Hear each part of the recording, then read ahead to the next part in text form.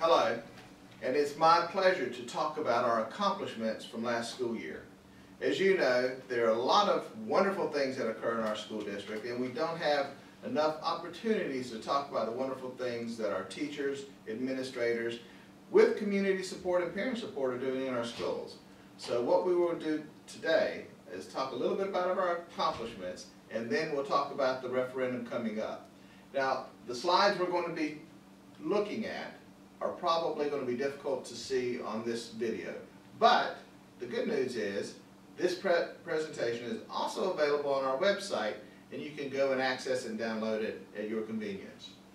So when we look at what the return on our investment has been, our graduation rate for the first time ever at each of our high schools is over 80%. For our countywide graduation rate, we're over 83%. That speaks volumes when you think about having students graduate on time and this is not just an accomplishment, I think, at the high school, but when we look at our pre-K-12 environment, all of those teachers played a part in ensuring that the students were ready to be successful at the next level. With WorkKeys, 87.6% of our students met the criteria to gain a certificate at bronze or above. Now that's great news because more and more South Carolina employers are using WorkKeys as a pre-employment type activity to determine who is ready to enter the workforce. Our scholarships, again, $30.9 million. That says that others are looking at our graduates and want that talent in their schools. That's a new record for us. We have two high schools that have made the top 10 list on two different publications. U.S. News and World Report, Hilton Head High School number five and Bluffton number seven. But I think even as important is the, is the ranking for America's most challenging high schools. That means that our, those two high schools also have an extremely rigorous curriculum. Our ACT state rankings have us ranked 8th in the state, 17th that test over 1,000 kids, in 17 out of 82 districts. And in each of the four areas, we performed at or above the state level. And not many districts can claim that. I think that's also a true testament to the ability of our students because what this test does now, it requires all 11th graders to participate.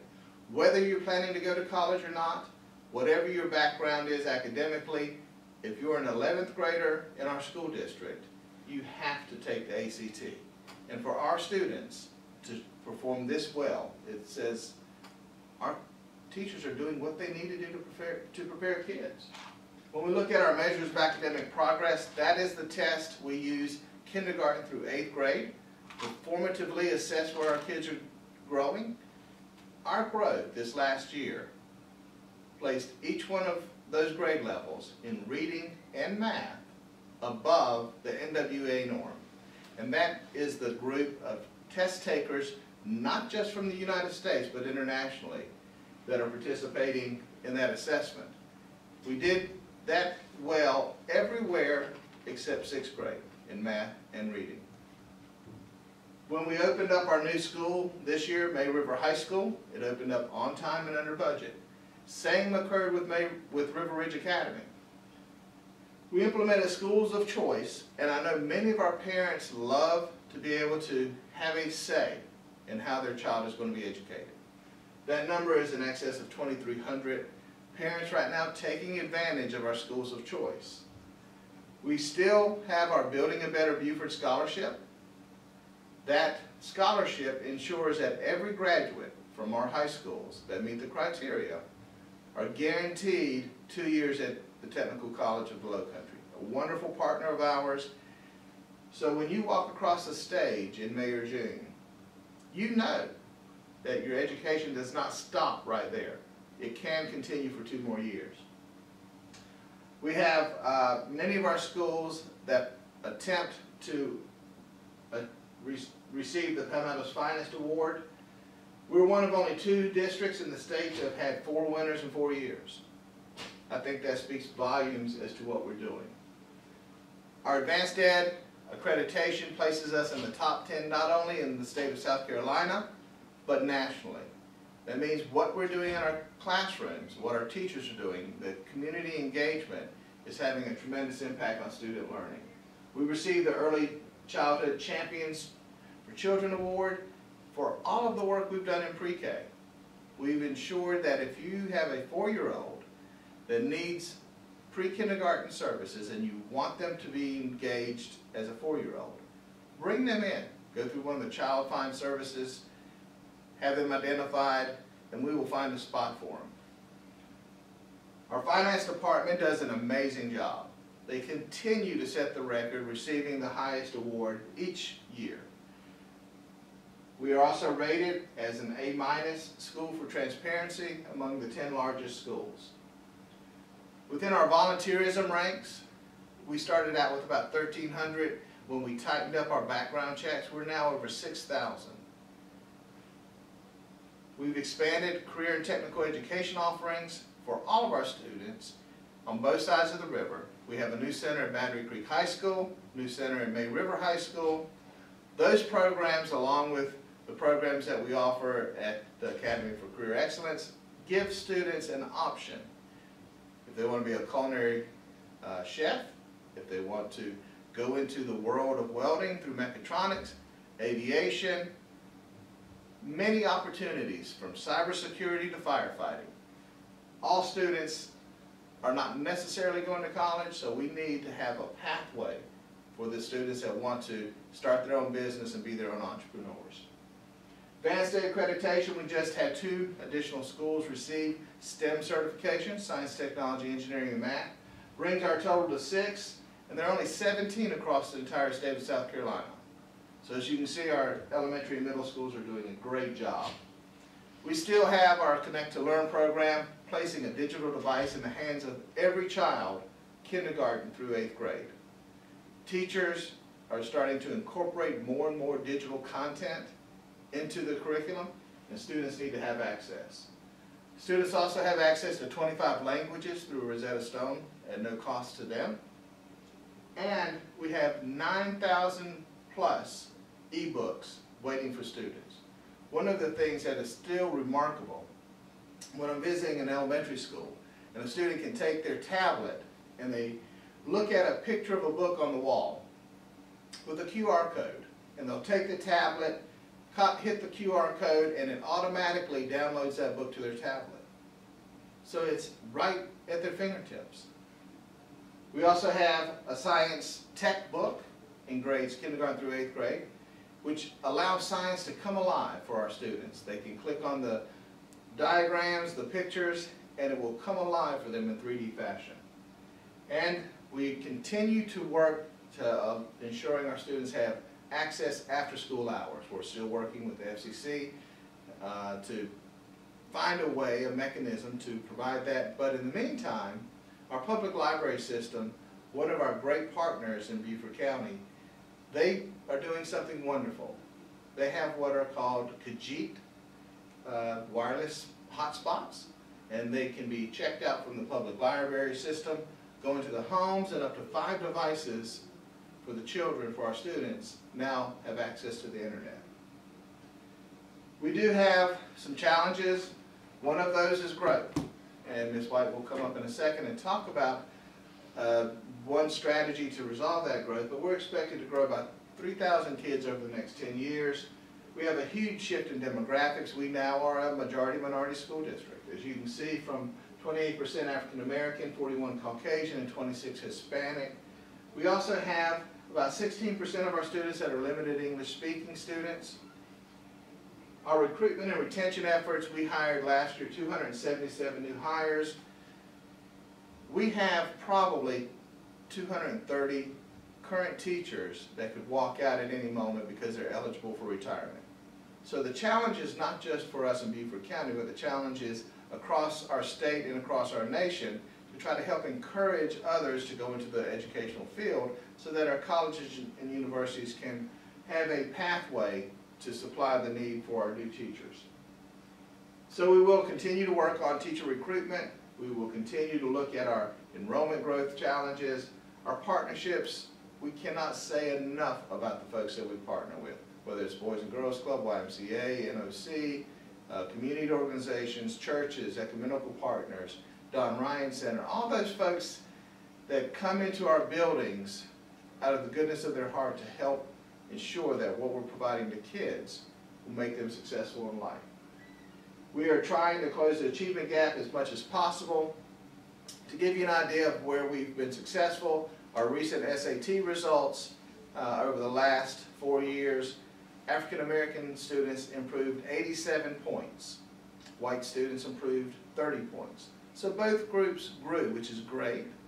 But what's better is that we close that gap by 57 points. The difference between 87 and 30 helped close the gap of our minority and non-minority students by 57 points.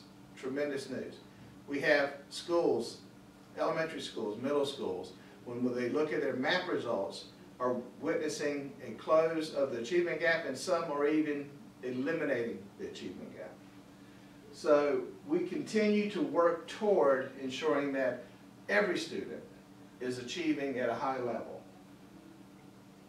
On the horizon, we have a sales tax referendum coming up.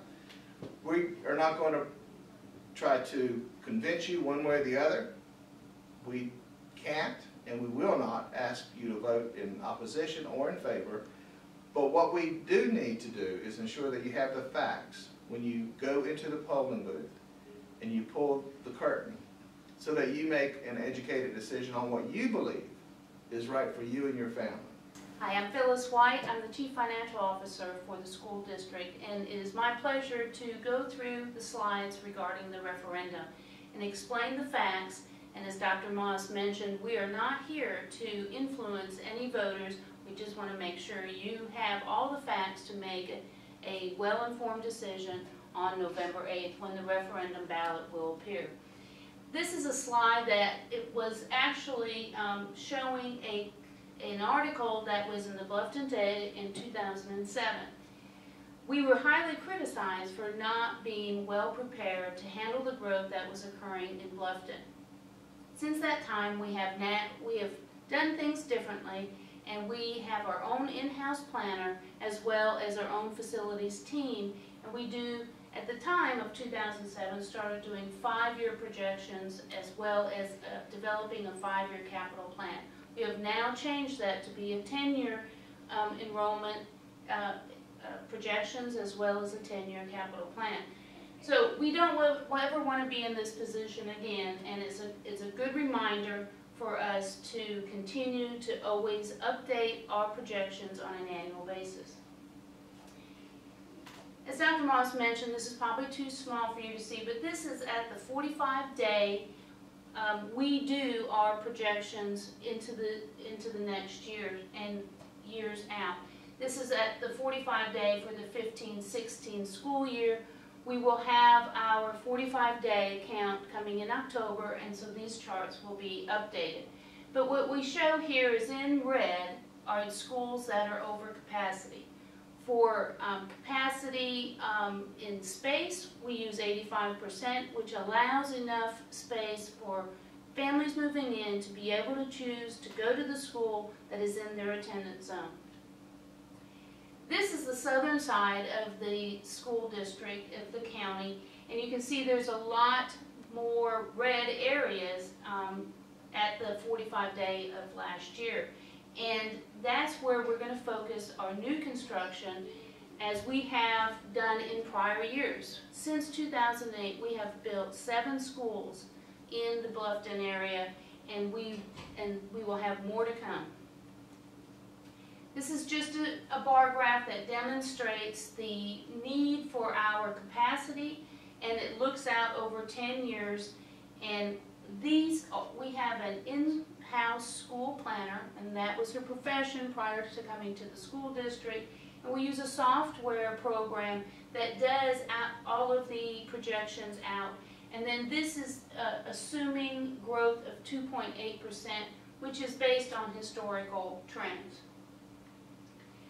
Just to demonstrate how accurate we have been over the past six years, our school planner has actually had an error rate of less than 1%, 0.66% um, of actually under projecting um, enrollment.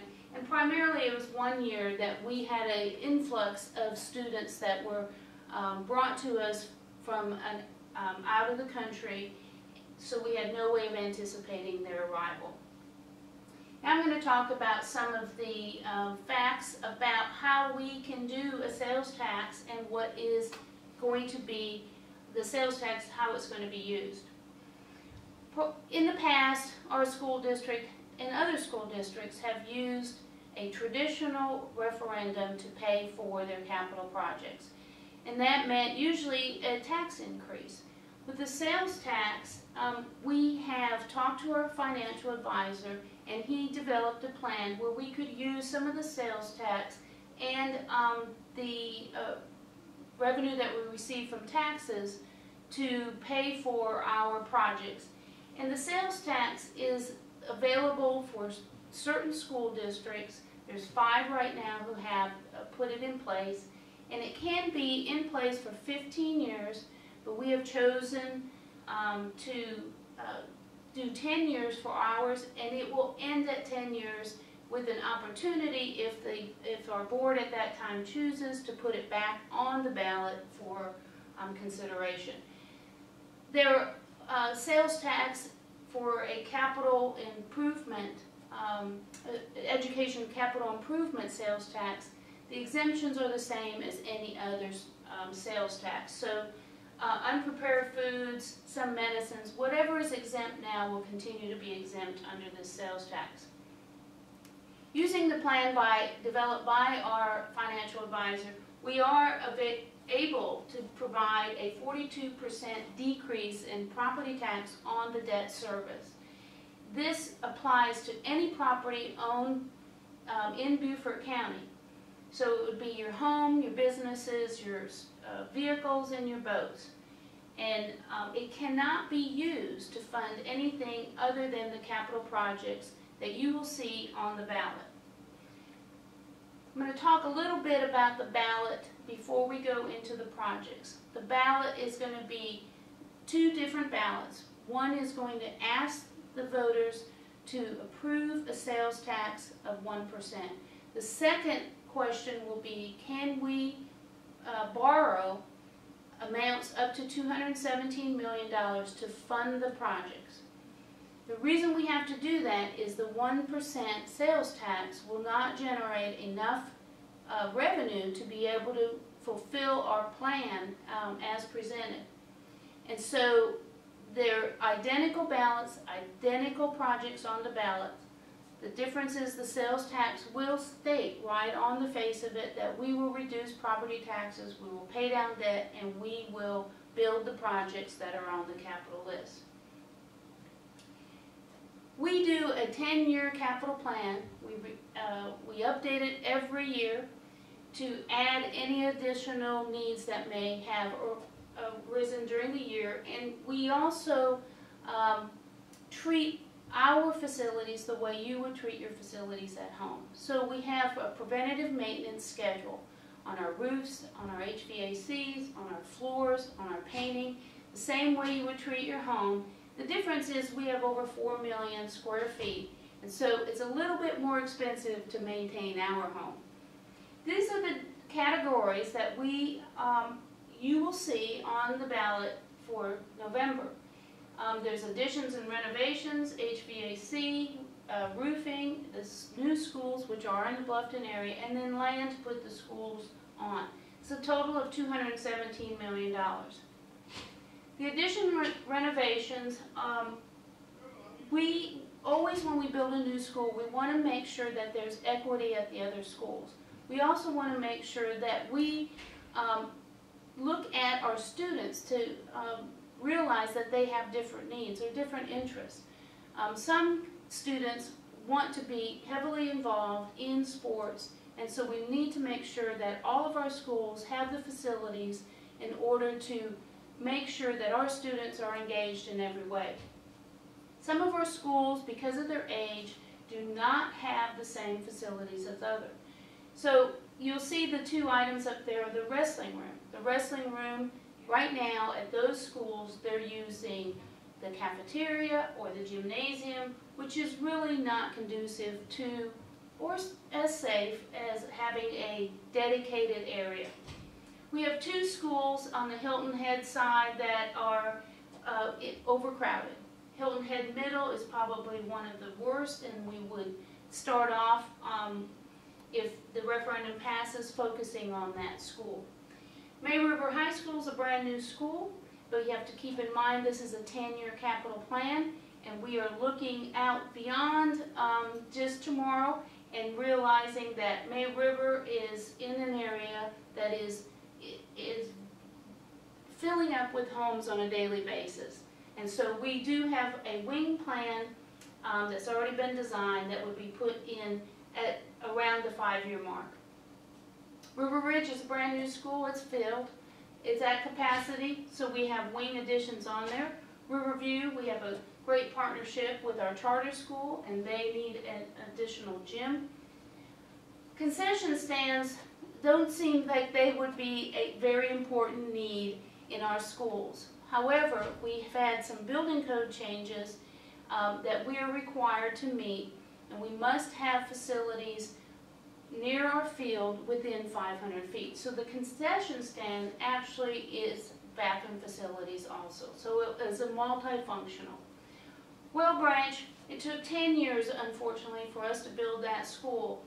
And because it took so long and three referendums, um, there wasn't enough uh, revenue available to be able to build it to the way it was designed. And so one of the gyms was removed in design and the auditorium. We created a cafetorium um, in order for the students to have a gathering area. We now need to put back those, eh, those items that were removed because it's very difficult as a principal to operate a school with only one gymnasium and have a gathering space um, for all the students at the school. HVAC upgrades, those are not glamorous projects, so um, just note that we are doing the same thing in our schools as you would do in your home, and we make sure that we are taking good care of your assets that you have paid for in the past. Roof replacement's the same thing. We want to make sure that we keep our schools airtight, especially in this climate with high humidity. The two new schools in the Bluffton area, when we built, when we purchased the land for the uh, May River High School, it was master planned to have multiple schools on that site. May River now has been built, the high school, and now the next phase would be an elementary and a middle school. The middle school is a higher need area. We need more seats for middle school, so that's where our focus will be. Those schools will be built in phases. It could be an elementary and a middle, or it could be a PK8, or it could be two PK8s. The other new school we don't like to talk about in public where we need the school to be built because once um, word is out that we need land, unfortunately the prices go above what we can afford. So just know that there are there in the referendum there is a dollar amount set aside for land. This is the best way we could find to describe how the sales tax will be used to reduce the taxes. Again, in a traditional way, we pay for our schools as millage on your uh, tax bill. The blue demonstrates that we get all the revenue from your tax bill. A millage is a tax rate and it's currently at 31.7 mils.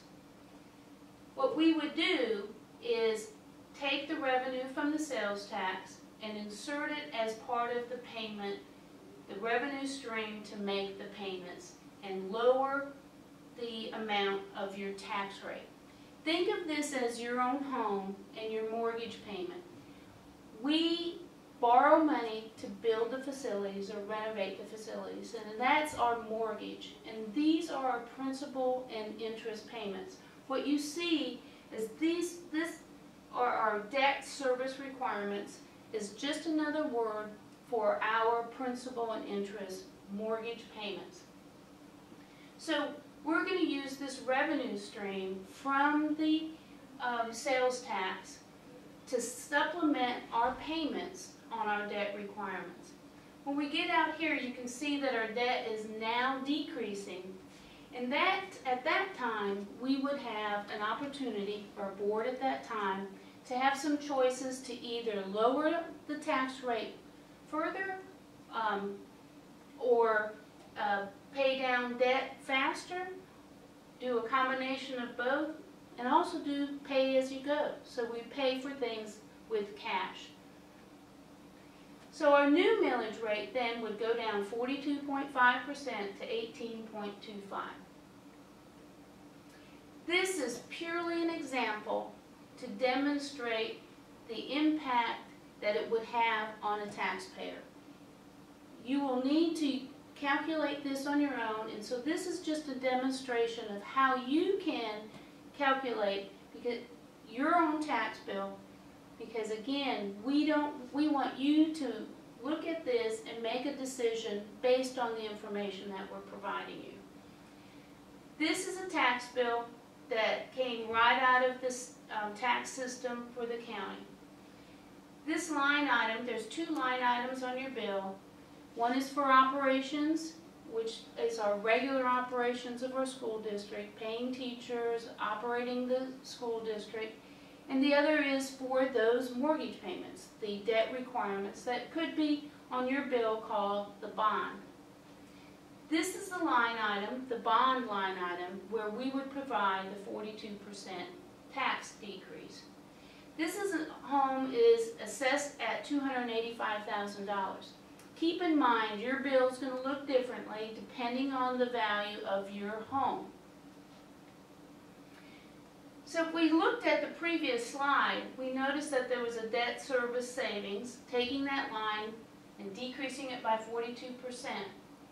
If you divide that by one cent, because it is a one cent sales tax, you can see the amount of taxable purchases that that would equate to and per week of $295. What this demonstrates is that if you purchase um, less than $15,345 in per taxable purchases, you could generate a savings to yourself. These are just an example of various types of homes.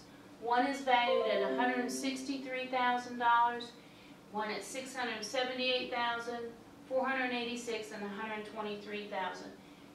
What's unique about this uh, this one in the corner is that this is a six percent property owner. We have, not only in our county, four percent, obviously we have businesses, but we also have six percent property owners that reside here in the county.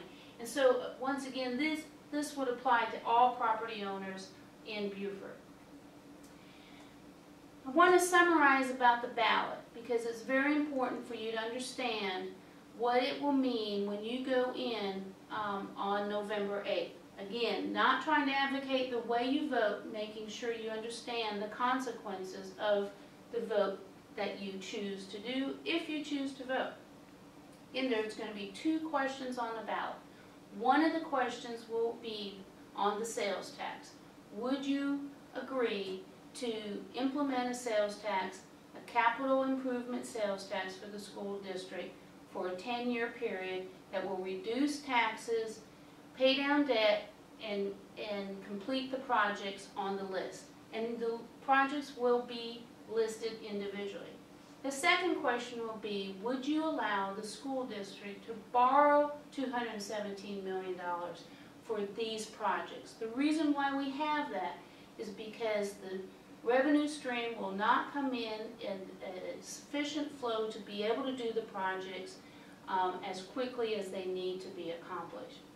So, if both questions pass, the district would move ahead and pay for the projects and reduce the property taxes by 42% on the debt service. If only the bond passes, what that does is reverts us back to what we traditionally have done as a traditional referendum, and the district would have to increase the property taxes by approximately ten percent. So if the one cent sales tax fails and the bond question passes, that is the result of it. It will be an increase in um, the property taxes. That's not trying to be a scare tactic, that's just a fact, because we would then go back to the way we used to do our projects. If only the sales tax passes, the projects would have to be delayed, because it would be a cash flow issue. We would have to wait until a sufficient amount of money was collected before we could begin the projects. If both questions fail, the district would have to resort to other options to cope with our enrollment growth and maintaining our existing facilities. It could um, result in deferring some maintenance and um, not preserving our assets as well as we'd like to, and our en- enrollment growth would, could result in having higher class sizes or unfortunately going back to the way we used to be with, um, in 2007, with um, mobiles outside the school, where more students are in mobiles than they are in the actual school themselves. So we hope that this has been useful. If you need more information, please visit our website. We have an enormous amount of information out there. We also have a tax calculator that I demonstrated to you that you can go in and actually calculate what type of savings that could be generated.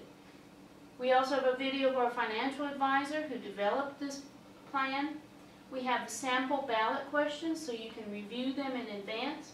And we have all our past and present financial reports of the capital projects.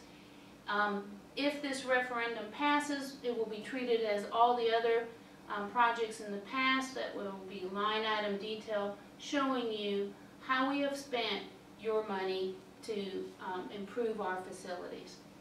And so this is our website. Please visit if you need more, more information and uh, appreciate your time. Thank you.